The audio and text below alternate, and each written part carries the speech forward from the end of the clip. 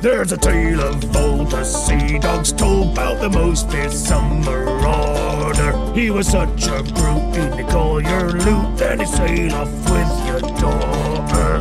Who's this lonesome rat ye say you sailed the seven seas? He'd take on all the merchant ships and bring 'em to their knees. Grog Grog